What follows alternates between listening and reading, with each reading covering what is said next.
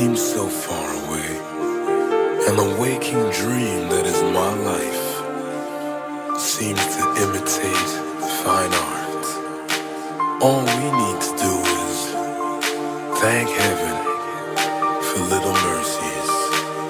Incredibly,